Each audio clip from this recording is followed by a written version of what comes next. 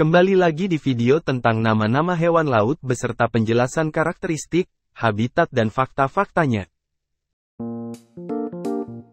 Ini adalah lumba-lumba. Ada alasan mengapa lumba-lumba sering muncul di permukaan laut, salah satunya karena lumba-lumba perlu menghirup udara.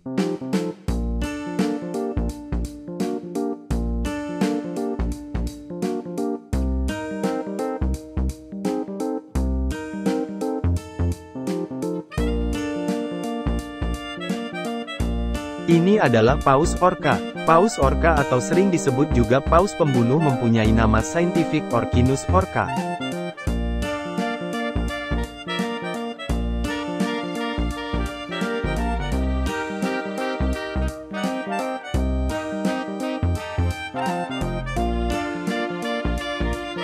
Ini adalah hiu martil. Hiu martil suka mencari makanan di dasar laut karena ia suka makan ikan pari, yang sering sembunyi di bawah pasir.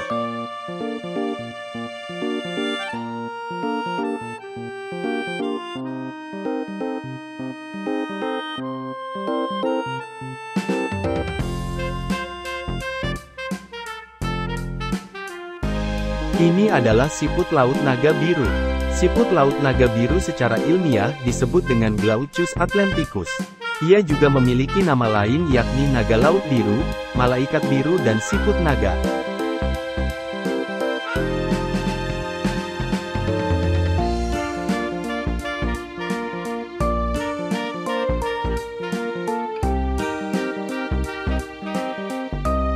Ini adalah udang mantis.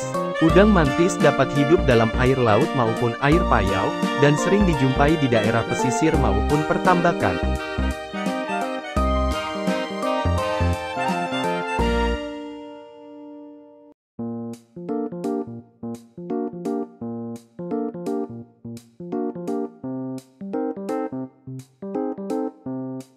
Ini adalah penyu belimbing. Penyu belimbing selalu bermigrasi dari pantai satu ke pantai yang lain untuk mencari sarang.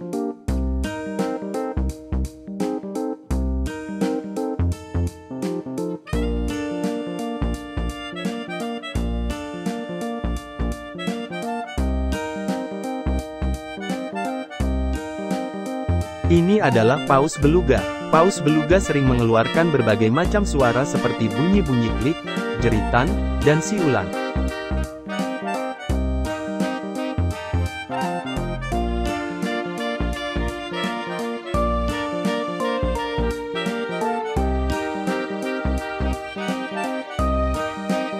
Ini adalah hiu zebra. Makanan utama hiu zebra adalah ikan-ikan kecil, selain itu mereka juga aktif memburu ular laut dan binatang moluska seperti cumi-cumi, siput, kerang dan kepiting.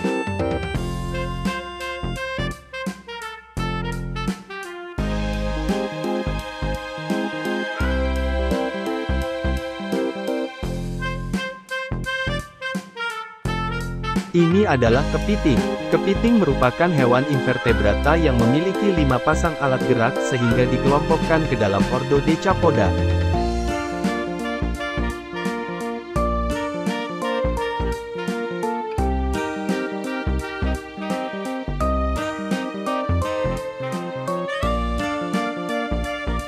Ini adalah gurita.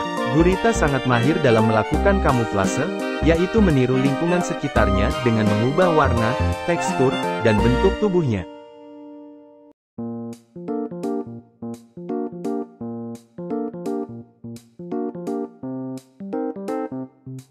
Ini adalah ikan batu. Warna tubuh dari ikan batu ini sering terlihat mirip dengan batu atau terumbu karang. Bahkan beberapa ikan diketahui memiliki alga yang tumbuh di atasnya.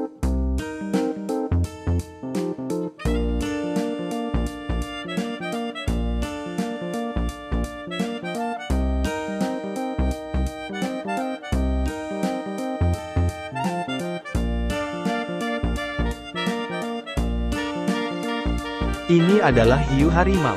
Hiu harimau terlahir mandiri, induknya tidak membantu anak-anaknya mencari makan, berteduh, atau bertahan hidup.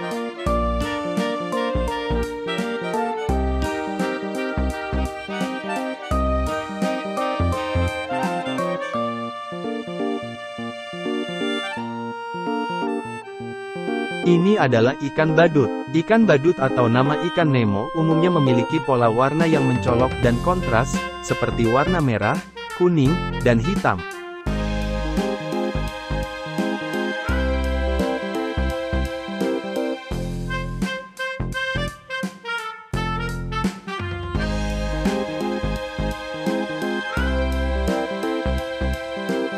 Ini adalah ikan sungut ganda.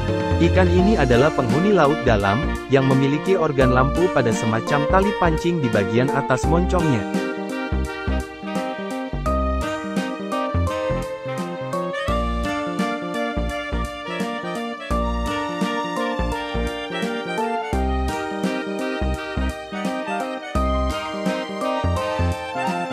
Ini adalah vakuita. Vakuita paling sering ditemukan di perairan dangkal seperti teluk atau lainnya.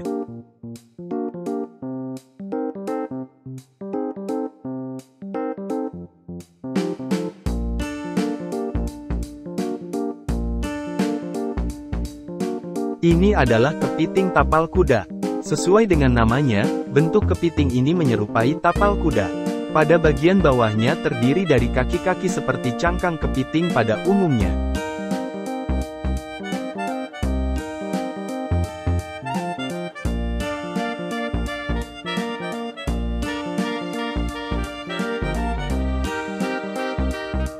Ini adalah udang. Udang merupakan anggota subfilum Crustacea yang hidup di perairan, khususnya sungai, laut, atau danau.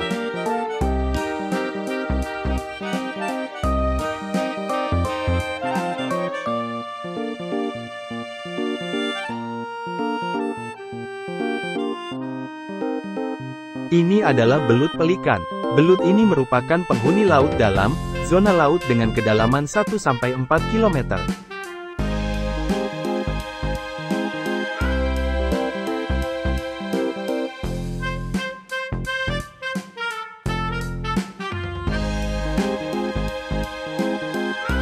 Ini adalah siput laut tanpa cangkang.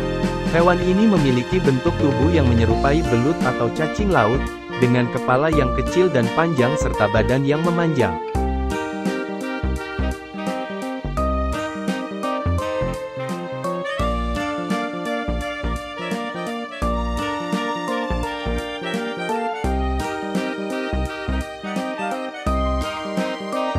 Ini adalah paus bungkuk. Secara umum, Paus bungkuk dewasa memiliki perkiraan berat antara 25 dan 30 ton.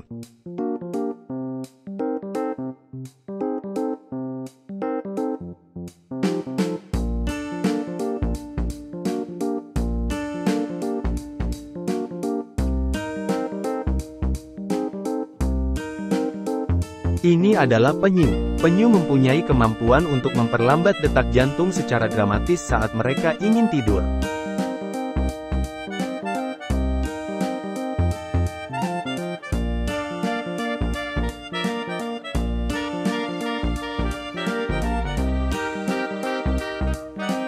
Adalah Juvenile Emperor Angelfish. Ikan ini merupakan ikan soliter yang lebih suka berkeliaran sendirian di terumbu dangkal.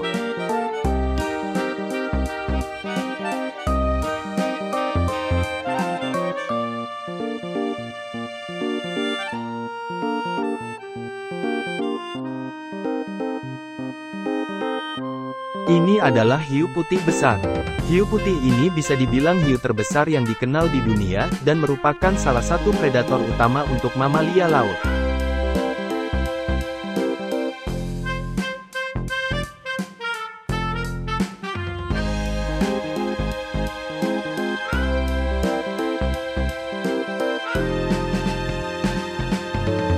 Ini adalah ikan pari.